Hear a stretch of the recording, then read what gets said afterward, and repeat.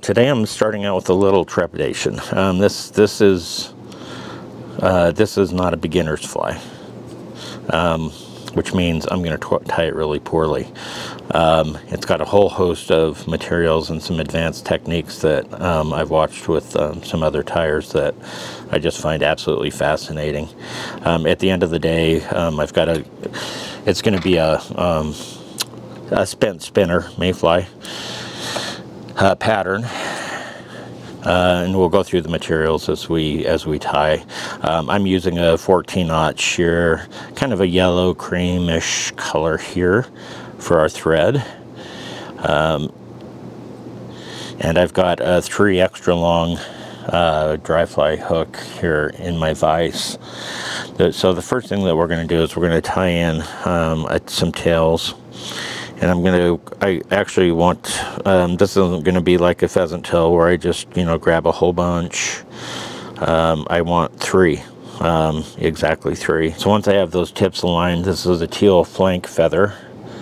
Um, it's got a really nice bar on it. Um, so I've got those tips aligned. I'm going to pinch right here at the tips um, which will allow me to just pull those right off. They come off really easily. On this particular pattern, we're going to, the tails are actually going to be fairly long. Um, I do want them curved upwards as well. So this feather has a natural curve to it that you can see here. Um, so we're going to go ahead and place these um, so that we end up with some fairly long tails. Um, we're going to keep that on the top of our our hook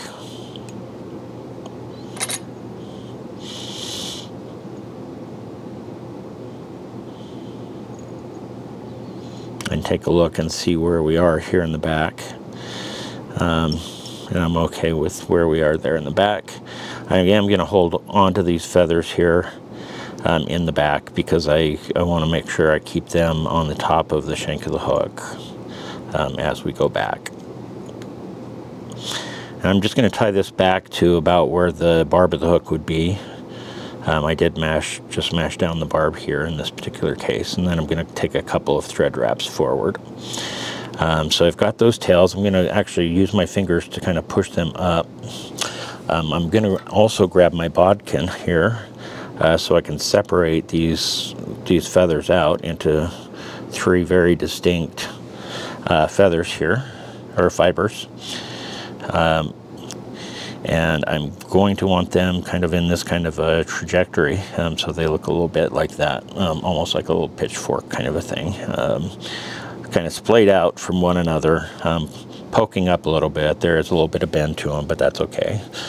Uh, from from here I'm actually going to grab my UV resin and I'm going to put just a tiny little dab of UV um, back here just to help keep those in that kind of a position. Um, otherwise, it just kind of glom together. And I do not want a, a, lot here. I just want a tiny little drop. So I'm going to be very careful. And I do want it on those fibers. So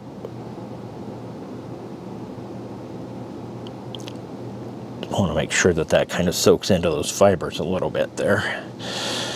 Um, and the nice thing with UV resin is it hardens immediately after you put the light on it. Um, I don't need, I don't want to put the light on it yet, so I can actually work around um, while it's still wet here um, to get these fibers about where I want them to be.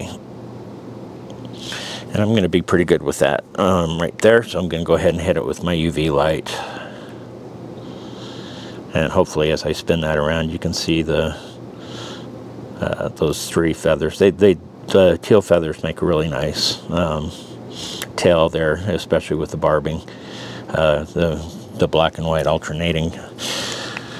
From here, I'm going to work a little bit on, um, we're going to work a little bit on tapering, um, and I will uh, turn my thread counterclockwise quite a bit. And sometimes I'll take my dubbing needle like this and run it over it, and it'll help flatten that thread out a little bit. In fact, you can see it even split there, which is just fine. Um, I'm keeping the, the uh, teal in place uh, at that butt end there that you can see uh, because we do want it tapered and I want to use that bulk um, the extra bulk material that, that that gives to me. And from here, we're going to just work backwards and forwards to get a nice, smooth uh, taper started here anyway. So now as I've got a little bit of taper uh, going here, um, I am going to tie in my next material because uh, it'll go over this tapered material. So we've got to get it tied in now. And we're going to use some hand stripped uh, quills, peacock quill here. And we're going to be just kind of using, we're using the golden, the golden olive color. So usually when I'm tying in the, the quill, I, I'm going to want the dark edge of that quill kind of facing down. Um, and I'm going to secure this and I've got it going off the lens side of the hook just so it doesn't interfere too much with those tails that we put in place. Um, but as I tie this in, um, especially as I get near the back where I'm going to start, I really don't want to crank down really hard on this thread um, because it'll cut right through that quill um, and it'll break it. And I do want to leave a tiny little space there between where I'm going to start that um, quill body and where I've put my tails in. So now we're just going to work our way back up. Um, again, I'm going to keep that uh, butt end of the quill in place because um, it just helps helps helps us with that taper. Um, it gives us that additional bulk, at least a little bit of additional bulk um, that that will be helpful. So I'm going to just take it you know, a little bit further up there, just like that. And I'm going to come in with my scissors and I'm going to cut off that butt end. So from here, I'm going to grab my bodkin and I am going to, again, work on uh, creating more of a tapered body. I want more of that yellow showing through. Um, I don't want this to be a thick taper. Um, I do want it tapered, but I don't want it thick. So um, I am just going to do some work here now, winding my thread counterclockwise. And then using my bodkin to kind of flatten that out a little bit. Okay, so hopefully you can see here that we've um, put a nice smooth taper on this, um, not overly thick and pronounced. Um, I'm going to do a couple thread wraps here just so that I can secure my uh, thread or yeah, secure my thread because I'm going to be using my bobbin cable. I'm getting cradle. Boy, I can't even talk this morning. Um, and then I'm going to attach my uh, peacock quill to my hackle pliers and try to be as careful as I possibly can because this stuff just breaks um, really easily. So once I have that in there, I'm going to be, like I said, very, very cautious and careful. Um, you need enough tension that it wraps, but not so much that it breaks.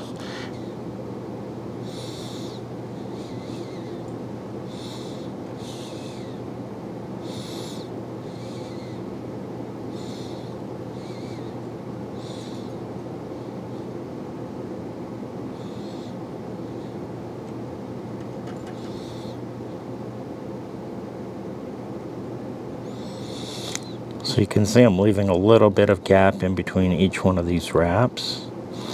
I'm doing that on purpose. Um, having that yellow thread kind of showing through will give this a little bit more of a, an appearance of translucence. Um, I'm kind of where I want to be here, so I, what I want to do is try to lock this into place before I break my quill off. So I'm just going to take a couple of thread wraps over the top of this here just to make sure that we've got it kind of locked down in place. Then I should be able to undo my um, hackle plier at that point. Um, cut off that little butt end and clean that up a little bit and even secure it a little bit more. Um, from here, we're going to actually put a, a, tiny, the tiniest little bit of resin on um, the body here. And so I'm going to go ahead and break out my um, UV clear um, thin from Loon.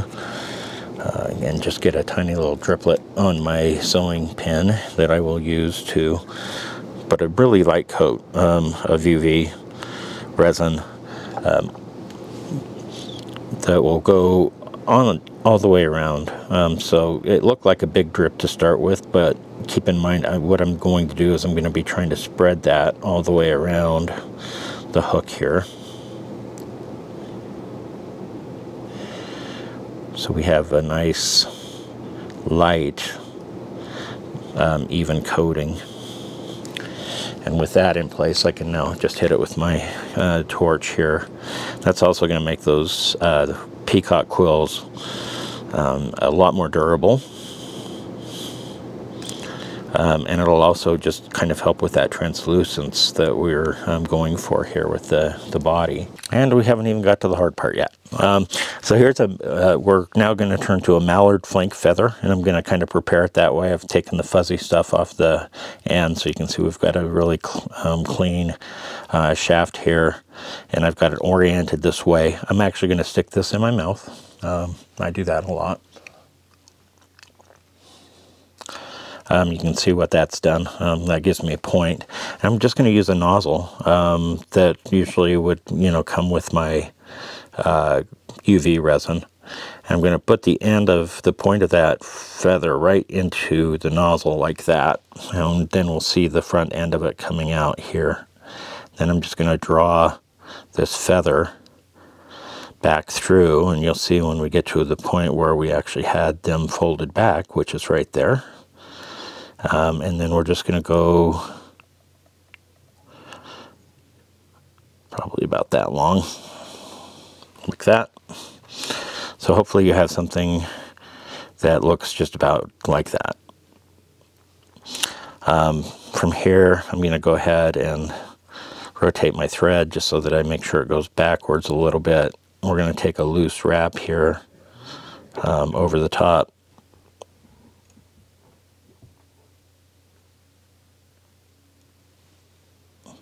Another wrap.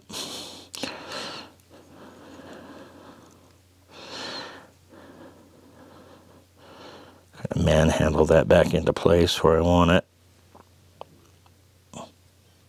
Take a few more wraps here and pull it a little bit tight.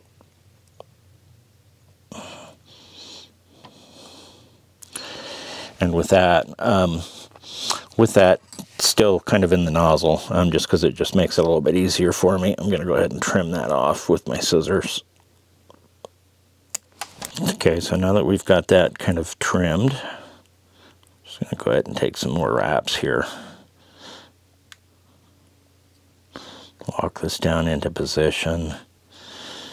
And because we put that right in front of the body, um, there shouldn't be as much of a, a, a change in dimension moving from, from here to here. So I'll just go ahead and take another pass up here just to make sure that we got that right where we want it, or at least as close as we're going to get it.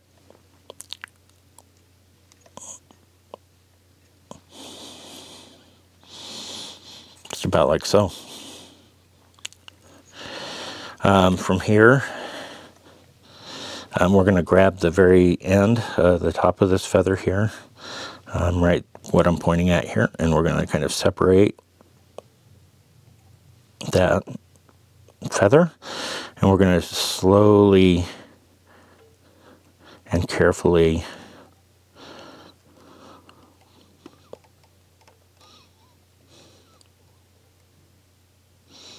pull that apart, kind of like so. And I'll usually leave the these tip ends on a little bit um, because they will end up helping us out with um, moving the stuff around. Um, so, not perfect, but hey, not looking too bad yet. So, we've got that in place, um, which is a really cool technique, by the way. Um, not that I invented it by any means. Um, and now we are going to uh, move to our next material. I'm going to tie in a, just a tiny little bit of um, Z yarn that we're going to end up using for kind of a wing case on this pattern. So I've got some uh, Z yarn in dark olive here. Um, and I'm just going to take one piece here and cut it, uh, cut it off, remove it. Uh, so we end up with our little piece looking kind of like like that here. And then because that's going to fold over and be our wing case, I want that right on the top of my uh, body here. So I'm going to take a, a, loose thread wrap here um, just to make sure we get that right on top. And then I'll take a few turns back to lock that into place. So maybe about like that. Um, from there, I'm going to go ahead and take my scissors and I'm going to cut the balance of that out, um, hopefully without um, losing the thread or the feathers that we just put in place.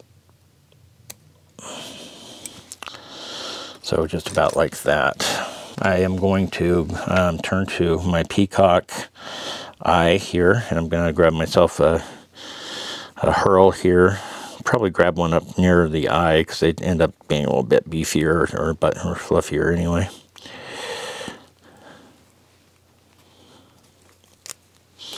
Just go ahead and rip that right off the, the end there. I'm going to tie this in by the tip, but I'm going to cut the tip off a little bit um, just because it is pretty weak, um, but it's fluffier towards the tip too. So you're kind of playing that balance game of um, do I want it to break or do I want it to be puffy? And I want it to be puffy.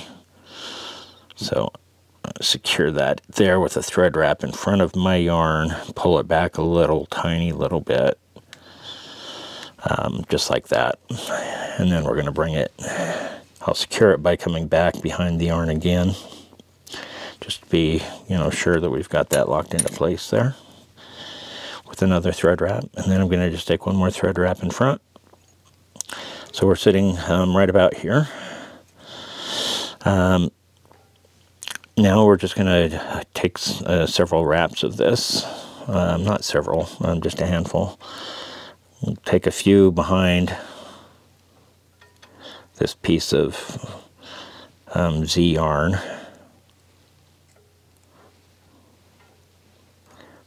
and I'll kind of transition and do a few wraps in front of the Z yarn as well trying not to break my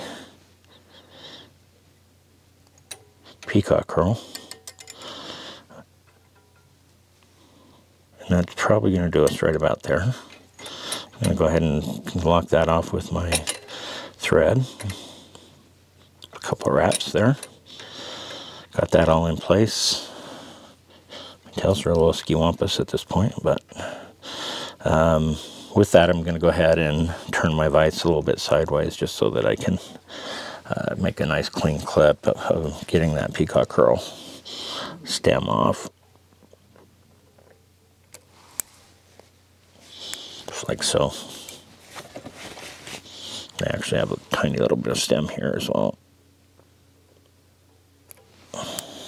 So at this point I've got, um, what I've done is I've created a dubbing loop here with a, just a regular dubbing um, hook. Because the next thing that we're going to do is we're going to um, work on tying in some uh, some CDC that's going to be um, uh, kind of a light gray dun. I've got it already um, prepared here in my material clip, so it kind of looks like this. Um, I'm going to slide my material my materials in to this loop.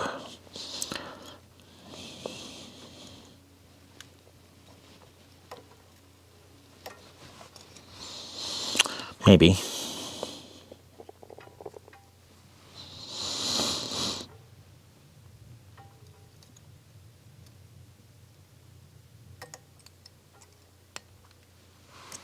So here we've got our CDC feathers into our dubbing uh, loop and we'll just kind of give that a, a bit of a spin here.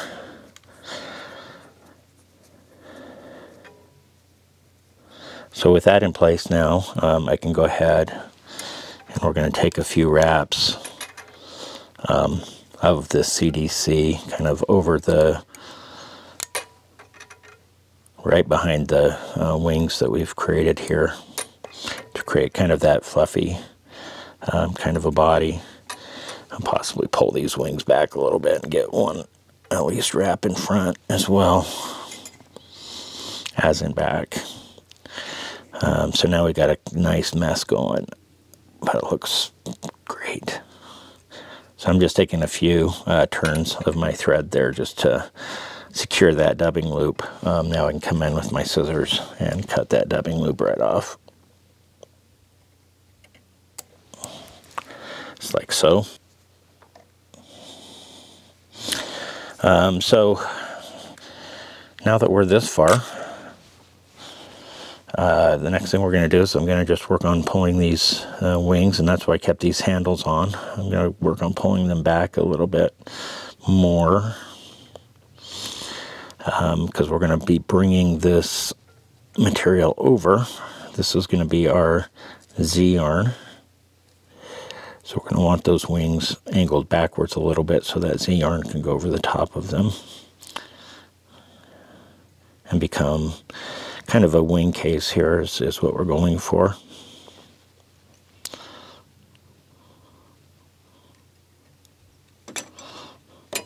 So I'm just going to take a, a couple of thread turns here to secure that hopefully behind the eye of the hook.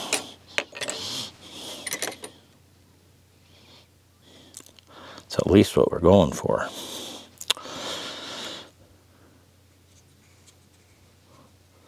So now that I've got that taken in place, I'm actually going to, um, we're going to go ahead and put a couple of um, whip finishes in here. And I'm going to do my whip finishes here on an angle a little bit just so that I can um, stay away from those wings.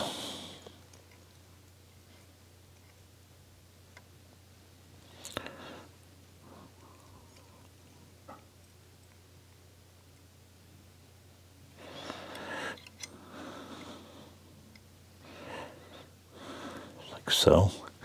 Let that slide right off. Pull our thread tight. Um, then we should be able to clip our thread um, off at this point. So I'm just going to turn that upside down so I have a good look at it with my scissors here. Just like so. Go ahead and set my thread to the side. Um, I am going to leave a tiny little bit of this wing case in place and it's going to be kind of serve as kind of a little blackhead.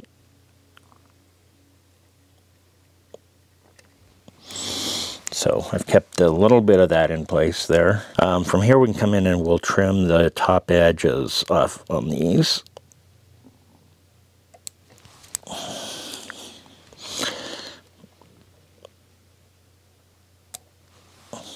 Just like so.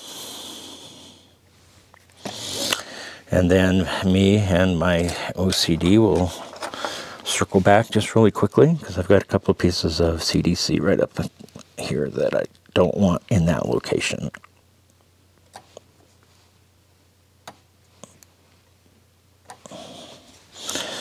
So I've gone ahead and kind of taken those out. A couple fibers of yarn that I don't want in there either.